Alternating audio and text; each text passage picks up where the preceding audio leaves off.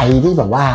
ไม่ได้เรียนกับที่พี่สอนนะนะแต่ดู warp เนี่ยนะเขาอาจจะได้เปรียบคนที่เรียนด้วยนะ ถ้าเกิดว่าคนที่เรียนเนี่ยไม่ยอมดู warp นะเพราะ warp เนี่ยพี่แถมให้ฟรีเลยนะจะเรียนไม่เรียนพี่ยกให้เลยนะขอให้ขยันเถอะแล้วทำไมพี่ปล่อยพวกสูตรลัด warp ที่มันน่าจะให้เด็กนักเรียนที่เรียนกับเรา เดี๋ยวเด็กที่เรียนกับเราเสียเปรียบพี่บอกเลยว่าไม่เสียเปรียบเพราะว่าลูกศิษย์พี่จะรู้ดีว่า warp นั่นน่ะเด็กๆสิ่งที่เราเรียนกันน่ะมันดีกว่า warp มันเป็นความเข้าใจที่แบบสามารถจัดการพลิกแพงได้สะดวกสบายเพราะนั้นวาร์ปเนี่ยเรายกให้เลย ขอให้ขยันเถอะคราวนี้มาดูรูปแบบอีกรูปแบบหนึ่งนะครับ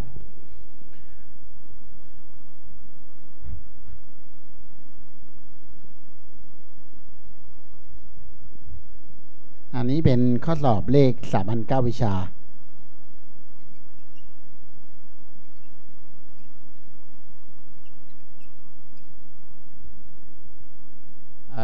ธันวา 58 เขากำหนดให้เป็น 5 ข้อท้ายนะครับที่มันจะยากที่สุดในฉบับนะครับ ยากกว่าข้ออื่นๆ เขาให้เมติก A มีหน้าตาเป็นคอสพายส่วน 3 ลบไซพายส่วน 3 ไซพายส่วน 3 แล้วก็คอสพายส่วน 3 แล้วก็เซต S ประกอบด้วยหนึ่งสองสามถึงร้อยโจทย์ให้หาความน่าจะเป็นที่ A ยกกำลัง K ได้ I นะฮะ โดยที่ K เป็นจำนวนนับ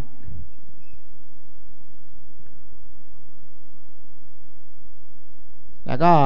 ไอ K ที่ว่านี้ต้องสุ่มจากเซต S ด้วยนะครับ จะถามว่าความได้เป็นที่ a กำลัง k ได้ i เนี่ยมีค่าเท่าไหร่นะครับ ในเมตริกนะครับ มันจะมีเมตริกพิเศษในการคูณและยกกำลังอยู่นะครับ อันแรกก็คือเมตริกที่มีแต่สมาชิกแนวทะแยง เมตริกที่มีแต่สมาชิกแนวทะแยงเนี่ย คุณจะคูณแบบตำแหน่งต่อตำแหน่งได้ สมาชิกแนวทะแยงก็คือ ที่ไม่ใช่แนวทะแยงนี่เป็นศูนย์หมดเลย อย่างเงี้ยครับ อันนี้รูปแบบนี้เวลาคูณกันก็ตำแหน่งต่อตำแหน่งที่คูณกันก็คือตามแนวทะแยงครับ ที่เหลือก็เป็นศูนย์หมดเลย นี่นี่คือตัวอย่างนะครับ ไม่จำเป็นต้องเป็นสามคูณสามนะ เป็นจัตุรัสใด ๆ ก็ได้นะครับ n คูณ n ใด ๆ เลยนะครับ อันนี้แบบที่หนึ่งนะครับ อันนี้เวลาเรายกกำลัง n มันก็จะยก กำลังไปเลยตามตำแหน่งแนวทะแยงด้วยแบบนี้เลยนะครับนะจะเป็นอย่างนี้เลย อันนี้คือรูปแบบในการคูณและการยกกำลังที่พิเศษนะสำหรับเมตริกทะแยงนะครับ อันต่อมา ก็คือรูปแบบที่ว่าหน้าตาเป็นอย่างนี้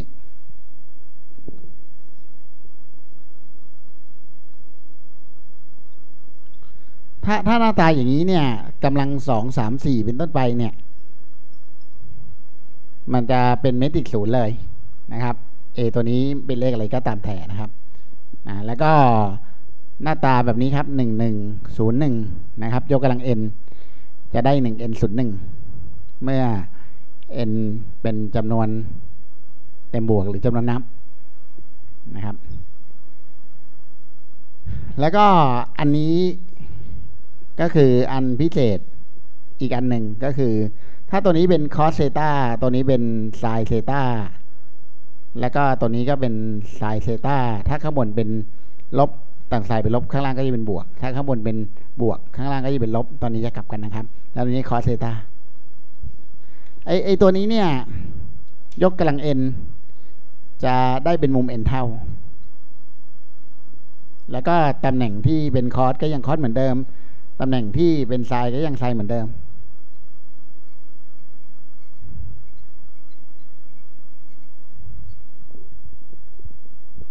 นะครับ เนี่ยนี่คือหน้าตาการการยกกำลังอินนะครับ โอเคอด้วยด้วยความรู้นี้นะครับ ซึ่งถ้าคนไม่รู้ก็ต้องลองคูณดูแล้วก็สังเกตนะครับ แต่อันนี้มันเป็นข้อพิเศษที่ เราควรรู้ ดังนั้นเนี่ยเราจะบอกได้เลยว่าอันเนี้ย a ยกกำลัง k เนี่ยนะครับ มันก็จะมีค่าเป็น cos k พายลบ sin k พาย k พายส่วนสามนะครับ แล้วก็ตัวนี้ก็เป็น sin k พายส่วนสามแล้วก็ cos k พายส่วนสาม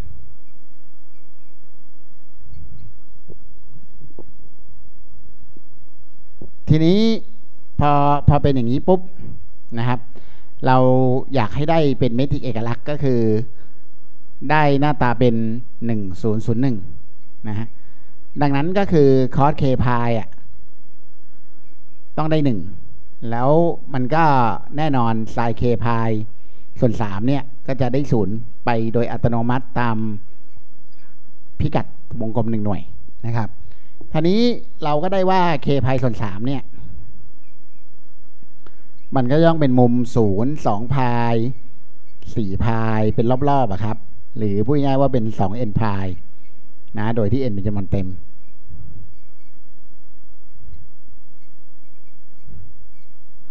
ดังนั้นค่า k ก็คือได้ 6n ค่า k ได้ 6n ก็แปลว่าในเซต s เนี่ย ค่า k ก็ต้องเป็น 6 12 18 24นะฮะแล้วก็อะไรหกหกสี่สามสิบนะสามหกก็คือเป็นสูตรคูณแม่หกนะฮะสี่สิบสองสี่สิบแปดนะห้าสิบสี่หกสิบอย่างเงี้ยครับ ไล่ไปเรื่อยๆ ซึ่งนับแป๊บเดียวก็ได้แล้ว หรือใช้ลำดับเลขคณิตก็ได้นะครับ ดังนั้นจำนวนที่สอดคล้องกับเงื่อนไขดังกล่าวเนี่ยนะครับ มันก็จะมีทั้งหมด จนถึง 96 หรือจำนวนตัวที่เราต้องการค่าเคที่เราต้องการเนี่ยตรงนี้ครับ ในในช่วงศูนย์ถึงถึงร้อยอะก็จะมีค่าเท่ากับ 100 หาร 6 ปัดเศษทิ้ง ก็ได้ 16 16 ตัวนะครับ ดังนั้น ค่าความได้เป็นข้อนี้ก็จะตอบ 16 ส่วนร้อยเพราะว่าโจทย์มีเลขให้เลือกตั้งแต่1ถึงร้อยแต่ว่าที่ใช้ได้ก็มี 16 ตัวนะครับ ก็คือนี่ก็คือคำตอบเลขสามัญข้อที่ว่านะครับ ก็คือเราต้องมีลูกเล่น หรือเราต้องรู้ทริคพิเศษตรงนี้ เราก็จะทำข้อสอบได้ไวขึ้น ถ้าเราไม่รู้เนี่ย มันก็ต้องคูณสดๆในห้องสอบ แล้วก็ต้องสังเกตนะครับ ถ้าถ้าถ้าไม่คูณสดๆในห้องสอบแล้วและสังเกตก็ก็จะไม่ได้นะครับเอ่อ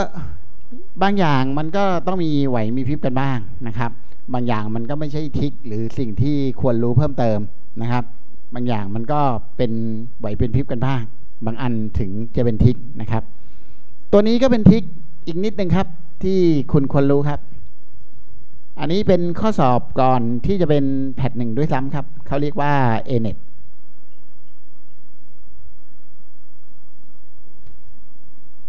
นะฮะเขาบอกว่า A นะเป็นผกผัน การคูณ ของเมตริกนี้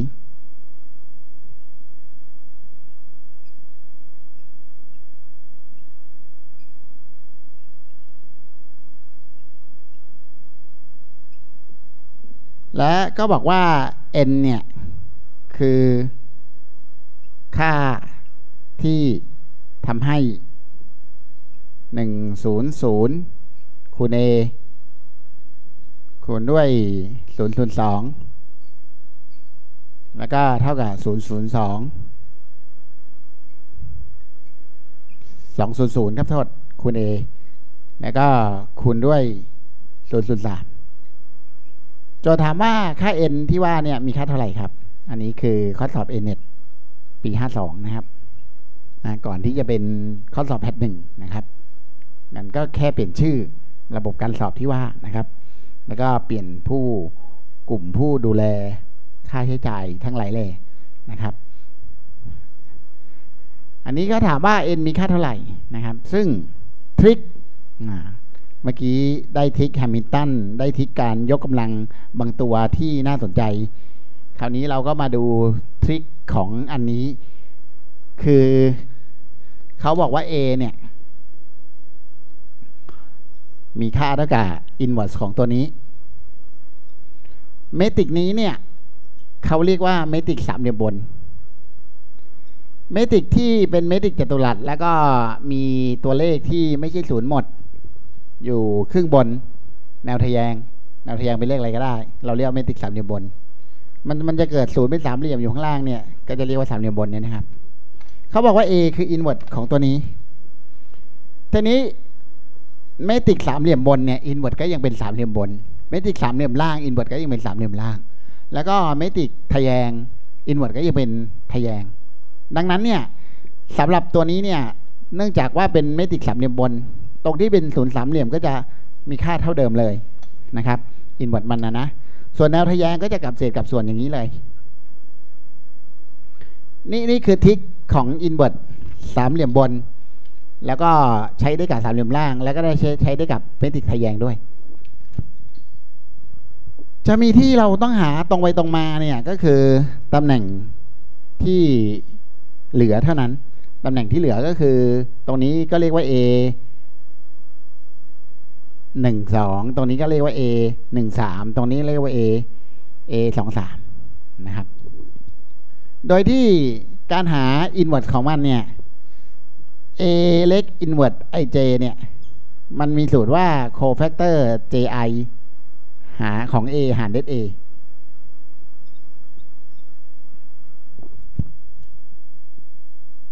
ดังนั้นเนี่ย A หนึ่งสองก็คือ inverse inverse ของ ของตำแหน่งหนึ่งสองเนี่ย อันเนี้ยขอขอขอเปลี่ยนใหม่ ขอเปลี่ยนเป็น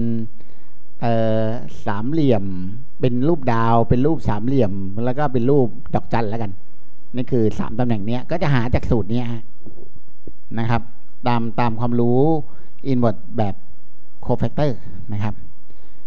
ซึ่งซึ่งพี่จะยังไม่หานะครับ แต่พี่พี่จะเอา A ตัวเนี้ยครับ ไปแทนในโจทย์ก่อนเลย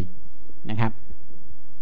เราเราก็จะเอาค่าที่ว่าเนี่ยแทนในโจทย์ก่อน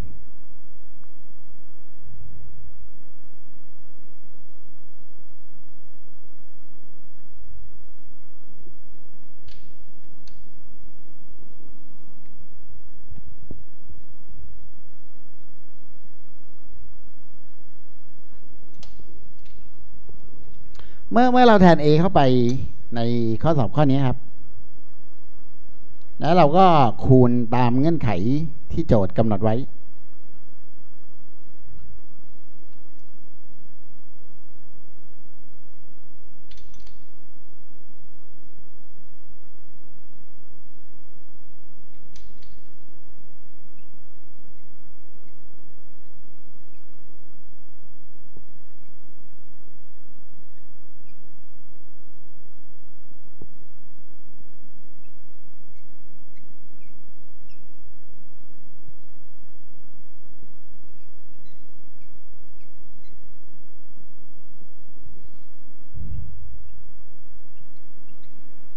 ฝั่ง ซ้ายเราคูณคู่ตัวที่หนึ่งกับตัวที่สองตัวแรกกับตัวกลางก่อนนะ ก็จะคูณได้อย่างนี้ครับ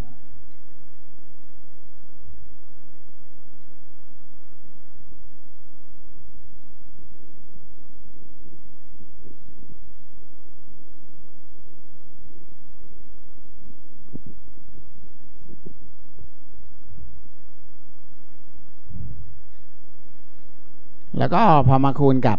อันนี้ ก็จะกลายเป็นสองเท่าของตำแหน่งสามเหลี่ยม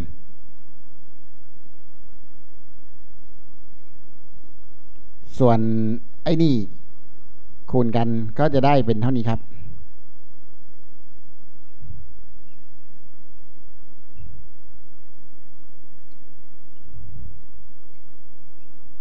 แล้วก็พอคูณอีกทีก็ได้หกเท่าสามเหลี่ยม ทีนี้ข้อสอบต้องการให้เท่ากันก็แปลว่า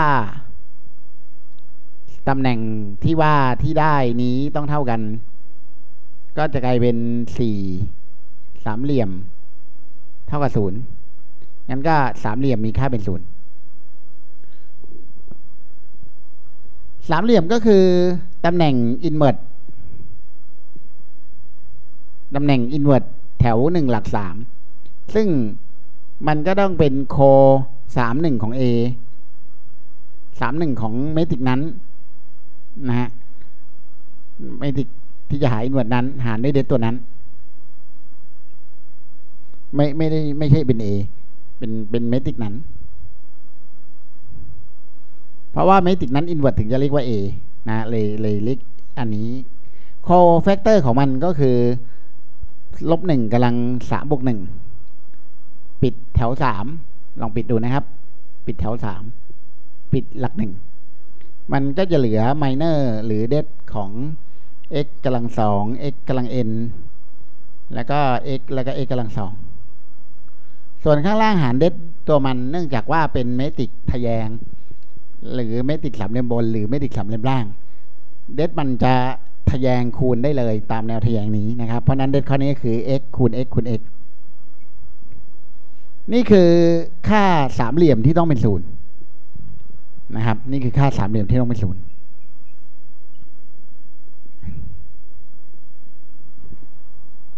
ก็ขอที่ตรงนี้นิดนึงไอค่าสามเหลี่ยมนี้ก็มีค่าเท่ากับลบหนึ่งกำลังสี่ก็ได้หนึ่งไป ไอตัวนี้ก็ทะแยงลงก็เป็น x กำลังสี่ลบ x กำลัง n บวกหนึ่งแล้วก็หารด้วย x กำลังสาม แต่ว่าถ้าเกิดว่าต้องการให้มันมีค่าเป็นศูนย์ดังนั้น x กำลังสี่ก็ต้องเท่ากับ x กำลัง n บวกหนึ่ง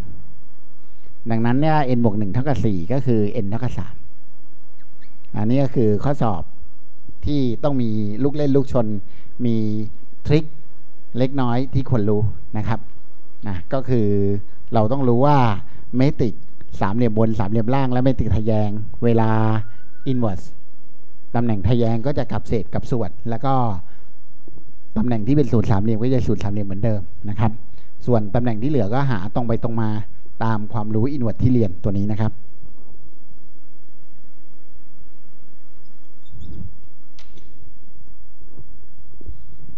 อีก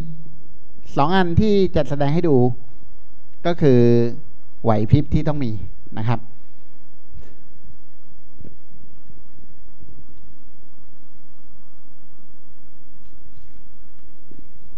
ตัวอย่างต่อมาเป็นข้อสอบ a n e t ที่เรียกการจัดสอบนี้หลังเอนทานแต่ว่าก่อนแผ่นหนึ่ง อันนี้ก็เป็นปี49เขาบอกว่า x y z เนี่ย สอดคล้องกับ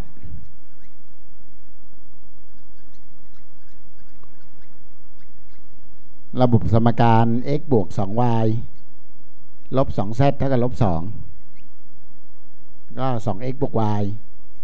บวก 2z เท่ากับ5แล้วก็ x ลบ 3y ลบ 2z เท่ากับ3เขาถามว่า determinant นะฮะของตัวนี้มีค่าเท่าไหร่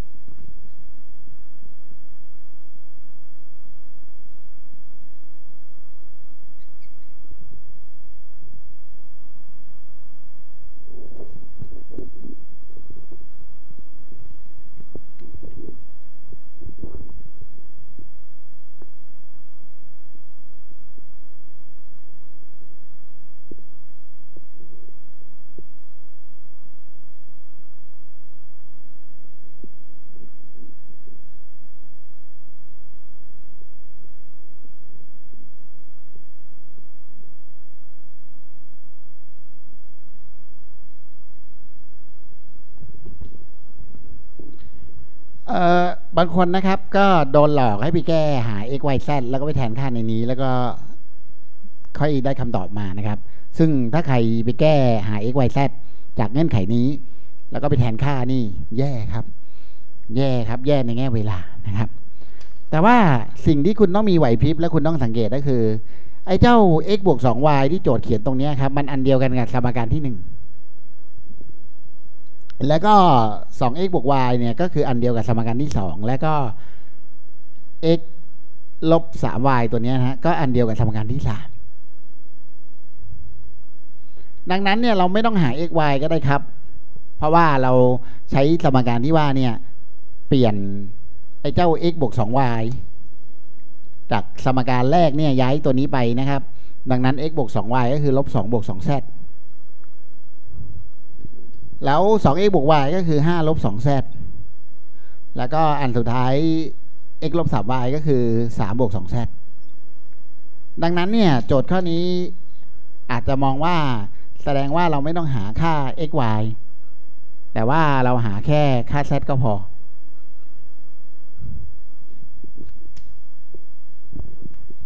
และจริง ๆ แล้วเนี่ย ถ้าใครสังเกตอีกนิดนึงเนี่ย ก็จะรู้ว่าค่า z ก็ไม่ต้องหานะครับ เพราะว่าถ้าแถวที่สองเนี่ยไปคูณ z แล้วก็บวกตัวนี้ปุ๊บเนี่ยไอ้สองแซดตัวนี้ก็จะหายไป อันนี้คูณแซดแล้วบวกลบสองแซดก็จะหายไป อันนี้คูณแซดก็ได้ลบสองแซดบวกสองแซดตัวนี้ก็จะหายไป คือถ้าใครสังเกตได้อีกว่า ถ้าเราเอาแถวสามตั้ง แล้วก็บวกแซดคูณแถวสองด้วยกฎ low operation ตัวนี้นะ มันก็จะทำให้เดด ไม่เปลี่ยนแต่แถวสามเปลี่ยนไปเพราะเอาแถวสามตั้ง นี่คือแถวสามเดิม ถ้าเราเอาแซดคูณแถวสองแล้วมารวม ตรงนี้ก็จะเป็นลบสองแซดตรงนี้จะเป็นบวกสองแซดตัวนี้จะเป็นลบสองแซดอันนี้คือแซดที่คูณแถวสองแล้วไปรวมกับแถวสามนะครับ อันนี้ลองดูเดิคูณแซดแล้วไปรวมใช่อันนี้ไหมใช่ไหมนะครับ ซึ่งซึ่งการกระทำเนี้ยเดทมันไม่เปลี่ยนครับ แล้วเราก็เลยได้ว่าเดทของโจทย์ข้อนี้ครับ ก็เท่ากับเดทของตัวนี้เลยครับ ตัวนี้เลยครับ อันนี้ก็เปลี่ยนเป็นเหลือลบสองเหลือห้าเหลือสามดังนั้นถ้ารู้จักสังเกตสังการหน่อยเนี่ย โจทย์ที่มีเวลาสอบไม่เยอะพอเนี่ย วิธีคิดมันก็ไม่นานครับนะครับ วิธีคิดมันไม่ได้นานเลยนะครับ อันนี้ก็คุณก็ต่อสองหลักสองหลักแรก แล้วคุณก็คูณทะแยงหาเดได้เลย แล้วก็จะเห็นว่าไม่มีค่า x ค่า y ให้หาหรอกจริง ๆ แล้วอะแล้วค่า z ก็ไม่ต้องหาด้วย เส้นทะแยงลงเส้นแรกได้สิบสองเส้นต่อมาได้สี่เส้นต่อมาได้ อันนี้คูณกันนะครับ ก็ได้สามสิบทะแยงขึ้นใส่ลบอีกที อันนี้คูณกันได้สิบสองก็เป็นลบสิบสอง นะครับ อันนี้คูณกันได้ลบอะไรนะลบยี่สิบนะครับ ก็ก็เป็นลบของลบยี่สิบเอเดี๋ยวก่อนนะ พี่ว่าพี่ต้องเขียนอะไรผิดแน่ ๆ เลย เดี๋ยวขอเช็คก่อนอันนี้สิบสองอันนี้สี่อันนี้สามสิบโอเค ใช่แล้วถ้ายังขึ้นเส้นนี้ก็ลบลบยี่สิบไปแล้ว อันนี้ก็ลบได้ลบหก สิบสองกับสิบสองเจ้ากัน อันนี้บวกบวกบวกสรุปได้หกสิบครับ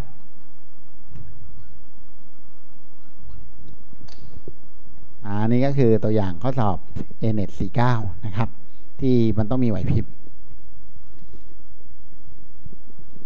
มาดูอันสุดท้ายของคลิปนี้นะครับ ซึ่งเดี๋ยวเราจะมีคลิปถัดๆไปเป็นไอ้เจ้าหลักการการแก้ปัญหาโจทย์ คันนี้อันสองก็จะเป็นลำดับอนุกรมนะครับ อันแรกนี่เป็นเมทริกนะครับ เดี๋ยวอันหน้าเป็นลำดับอนุกรมนะครับนี่นี่คือตัวใหญ่ข้อหนึ่งครับ ซึ่งเป็นแพทหนึ่งมีนาห้าเจ็ดเขาบอกว่า AB นะ เป็นจัตุรัส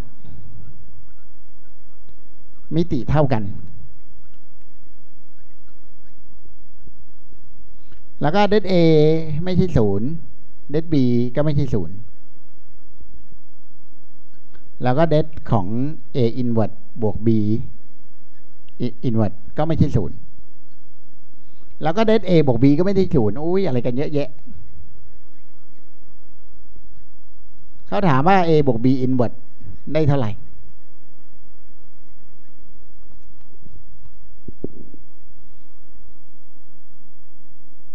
อั นนี้ต้องเขียน choice ให้ดูด้วย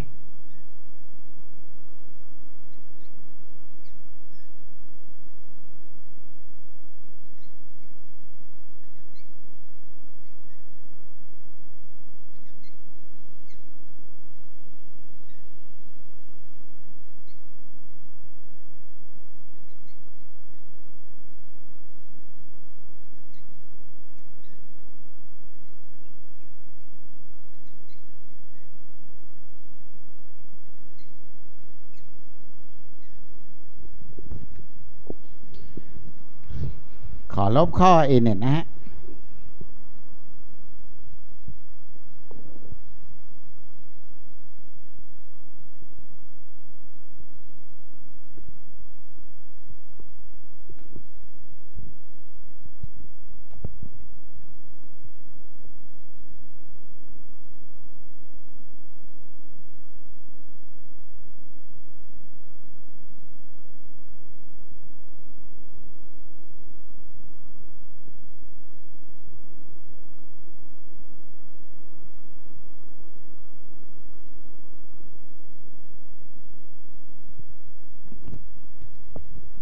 โอเค โจทย์ต้องการถามตัวนี้ซึ่งโจทย์ก็ถึงบอกว่าเด a บวก b ห้ามเป็นศูนย์เพราะว่า a บวก b จะได้มี inverse นะครับ แต่ว่า inverse เนี่ย มันไม่สามารถกระจายผลบวกลบได้ คือมันไม่ชัวร์ว่ากระจายได้ไหม อันนี้มันไม่จำเป็นนะครับ ต้องต้องเท่ากับ a inverse บวกลบ b inverse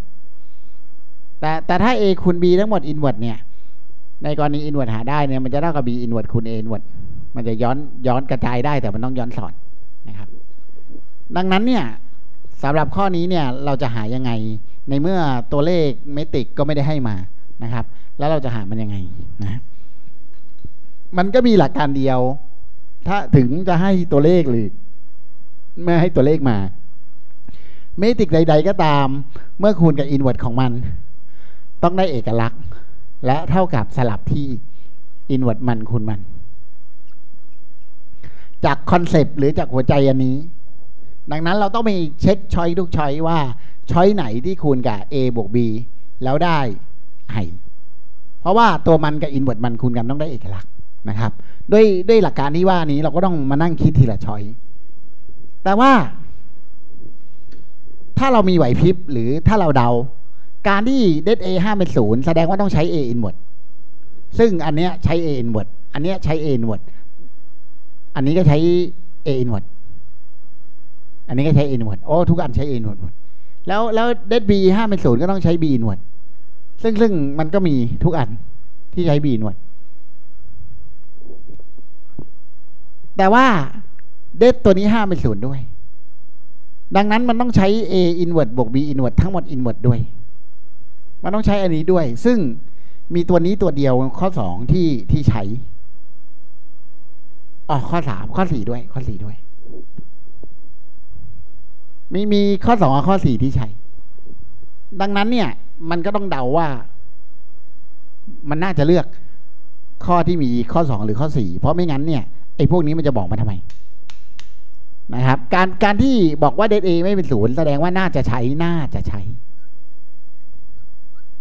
A inward ส่วนอันนี้ก็น่าจะใช้ B inward แล้วส่วนตรงนี้ก็น่าจะใช้ a inward บวก b inward ทั้งหมด inward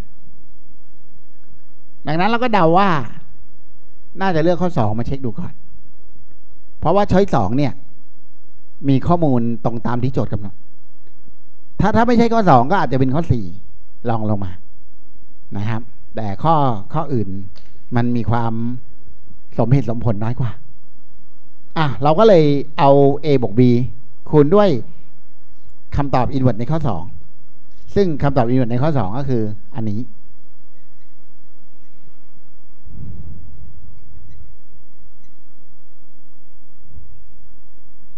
อะ ดูที่คูณกันได้ i ไหมเราเราก็ต้องกระจายตัวนี้เข้าไป มันมันก็จะได้เป็น a คูณ b inverse คูณ a inverse บวก b inverse ทั้งหมด inverse คูณ a inward บวกด้วย b คูณ b inward คูณด้วย a inward บวก b inward ทั้งหมด inward คูณด้วย a inward นะอันนี้คือกระจาย a กับ b เข้าไปนะครับนี่เน้นสีปากกาให้เห็นว่า a สีน้ำเงิน b สีน้ำเงินอยู่ตรงไหนนะครับ อันนี้ทำอะไรไม่ได้เลยครับ ก้อนนี้นะครับ แต่ก้อนนี้เนี่ย ตัวนี้ก็สลายคูณกันได้ i นะ เพราะเป็น b กับ b inverse นะ ดังนั้นเนี่ย อันนี้ก็จะเหลือ a inverse บวก b inverse ทั้งหมด inverse คูณ a inverse และไอ้ข้างหน้านี้ก็เราทำอะไรไม่ได้เลย นอกจากเขียนลงมาเหมือนเดิม เหมือนค่าที่คูณพอพอเขียนเสร็จ เราก็สามารถดึงตัวร่วม ก้อนนี้ออก มันก็เป็น a คูณ b inverse บวก i แล้วคูณด้วย a inverse บวก b inverse ทั้งหมด inverse คูณ a inverse นะนี่อันนี้ดึงออก ก้อนนี้ดึงออก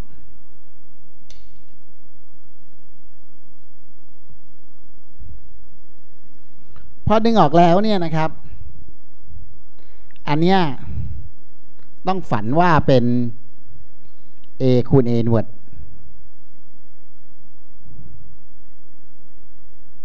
ต้องต้องฝันว่าเป็น a คูณ a inverse เพื่อเพื่อให้สามารถดึงตัวร่วม a ออกข้างหน้าได้ ในก้อนนี้ พอดึง a ออกข้างหน้าก็จะเหลือ b inverse บวก a inverse แล้วเมื่อเราลอกก้อนหลังที่เหลือมา อเปลี่ยนสีประการนิดนึง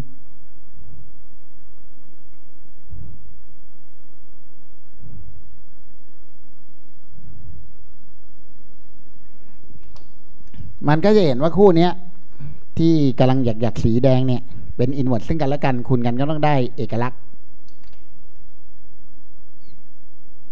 คูณกันได้เอกลักษณ์ มันก็จะเหลืออย่างนี้ครับ แล้วก็ a คูณ i ก็ได้ a ไป ก็เหลือ a คูณ a เหมือนซึ่งก็ได้เอกลักษณ์ไป พอดีเลยครับ นั่นก็แปลว่าchoice สองเนี่ย มันคูณกับ a บวก b มันคูณกันได้เอกลักษณ์พอดี ดังนั้นถ้าเกิดมันคูณกันได้เอกลักษณ์พอดี มันก็เป็น inverse ซึ่งกันและกัน จริง แต่ว่าถ้าเกิดคุณทำ choice อื่นเนี่ย มันก็จะติดขัด จนมันเหลือเป็นค่าอื่นที่มันไปต่อไม่ได้ แต่ว่าข้อสองเนี่ยเป็นข้อที่ไม่ติดขัดนะครับ คูณกันได้เนี่ยนี่คือข้อที่ยากเลยในมีนาห้าเจ็ดนะครับ แล้วก็ถ้าใครใช้ไหวใช้พริบสักนิดนึง ก็จะเดาคำตอบได้ แล้วก็มีโอกาสถูกสูงนะครับ หรือถ้าใครจะทำจนเสร็จเลย ได้คำตอบที่ถูกแท้แน่นอนเลย มันก็ต้องเดาจากข้อมูลโจทย์ แล้วก็ตัวนี้ก็เป็นตัวที่ advantage หรือสมเหตุสมผลที่สุดนะครับ นะคุณลองไปคูณช้อยอื่นดูได้ครับ มันจะคูณกันแล้วติดขัด แล้วก็จะเป็นเอกลักษณ์ไม่ได้นะครับ เพราะไม่ใช่อินเวอร์นะอันนี้ก็คือตัวอย่างโจทย์ที่ตอนคุณไปสอบเข้านะครับ คุณก็ต้องรู้จักพลิกแพงสถานการณ์ แล้วก็รู้จักมีทริคมีอะไรบ้าง เพื่อที่ว่าจะได้ไม่เสียเปรียบเวลาสอบนะครับ หรือทำข้อยากๆได้มากกว่าคนที่จะไปสอบด้วยกันนะครับ มันก็ต้องมีลูกเล่นพวกนี้นะครับ อะโอเคครับ เดี๋ยวคราวหน้าเรามาดูคลิปต่อไปนะครับ คลิปต่อไปก็จะเป็นคลิปที่2นะครับ warp สองนะ warp เบอร์ 2 อันนี้ warp เบอร์หนึ่งนะก็จะเป็นลำดับอนุกรมบ้างนะครับ โอเค วันนี้ขอบคุณมากครับ โชคดี